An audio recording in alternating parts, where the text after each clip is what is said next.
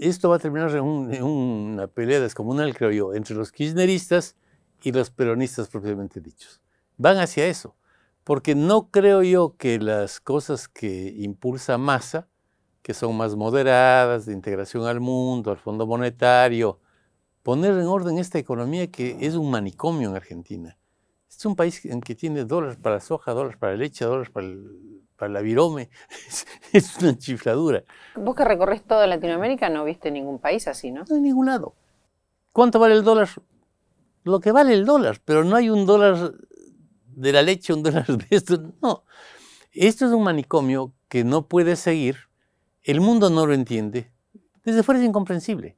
Nadie entiende. Están completamente locos.